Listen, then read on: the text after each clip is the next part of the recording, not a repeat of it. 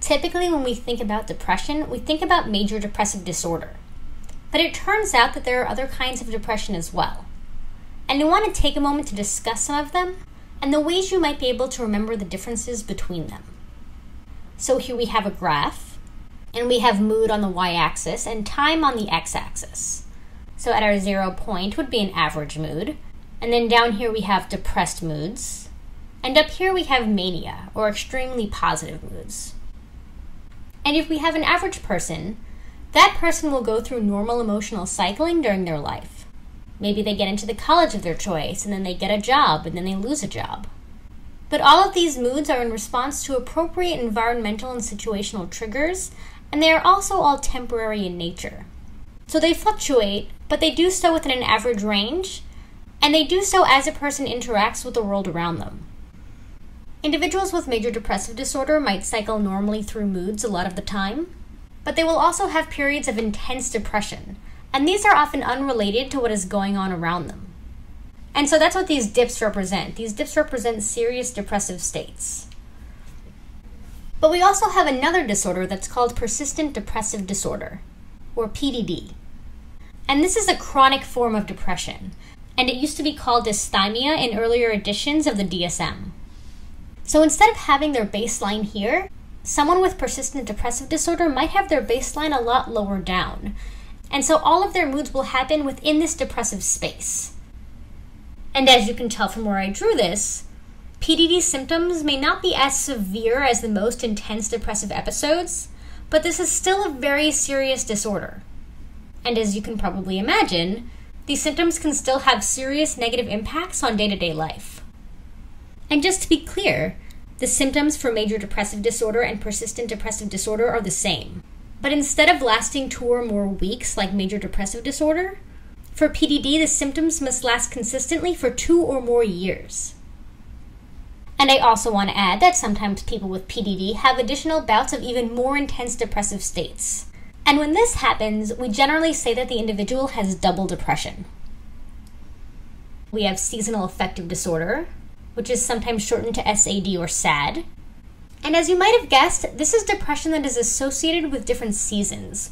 So it develops in the winter and fall and goes away or becomes less severe in the spring or summer.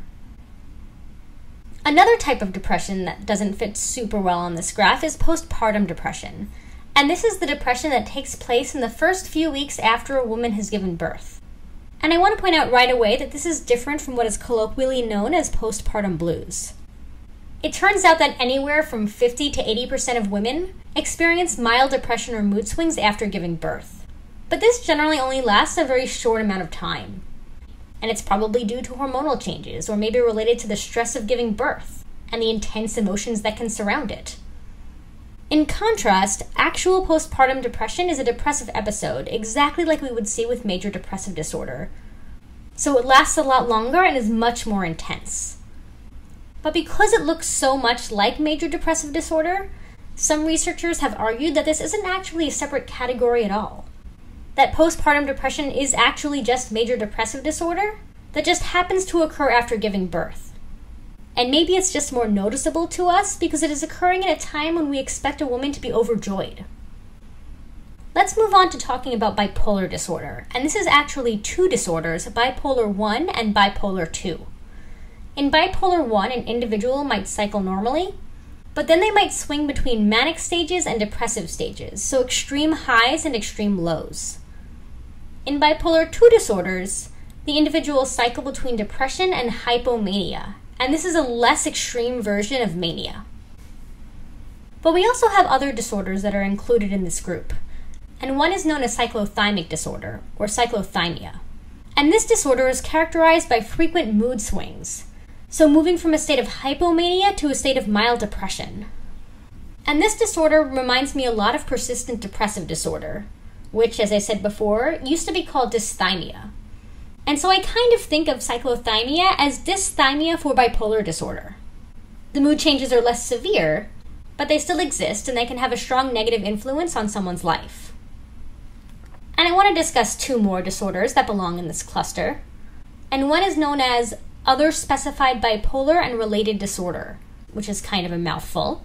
But this diagnosis, which is new for the DSM 5, this diagnosis is for individuals who have some, but not all, of the symptoms of bipolar 2 disorder. So maybe they don't have quite enough of the symptoms. Or maybe their periods of mania or hypomania don't last long enough for it to meet the criteria for bipolar disorder. Another disorder that's new for the DSM 5 that fits under this umbrella is premenstrual dysphoric disorder. And this describes mood changes, including intense mood swings, that can come about in the weeks before a woman has her period. And this could include a depressed mood or irritability or anxiety, and can also include many of the symptoms that we see for major depressive disorder. But just as in the case with postpartum depression versus postpartum blues, I want you to note that this is different from what society has labeled PMS. This isn't someone just being kind of moody. PMDD can be pretty severe and it can be really debilitating for the individuals who have it. And the last thing I want to mention is disruptive mood dysregulation disorder. And this one's also new for the DSM 5. If you're familiar with previous diagnostic categories in the DSM 4, you might remember that there was a separate section for children. So there was a separate section for diagnosing children with disorders. But that section no longer exists in the DSM 5. And so all of those discussions about childhood disorders have been folded into conversations about adult disorders and disruptive mood dysregulation disorder, it covers what used to be thought of as childhood bipolar disorder. So it can be used as a diagnosis for kids who are under 18 who show bipolar symptoms. So they might show persistent irritability or frequent episodes of out of control behavior. And once again, this goes beyond the temperamental behavior that we sometimes associate with the teenage or preteen years, and even beyond the temper tantrums that we sometimes see in childhood. When we talk about out of control behavior here, we are talking about really intense outbursts, and they often require clinical attention. So, we've talked about child bipolar disorder, but what about childhood depression? You might be wondering if it's the same or different as adult depression. And to answer that, we really need to consider the fact that things like emotion regulation change and improve over our lifetime. And so, young children who aren't very skilled in emotional regulation, they might display depression differently from adults. So maybe they'll be irritable or angry instead of sad. Or maybe they'll have a lot of anxiety. Or they might have physical symptoms like persistent stomach aches and headaches.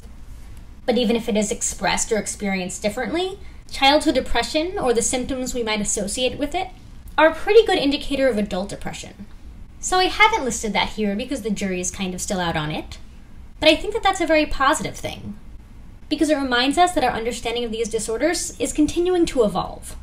And even though our understanding of these disorders and our treatments of these disorders are pretty good right now, they'll be even more advanced and more sophisticated by the time the next version of the DSM is published.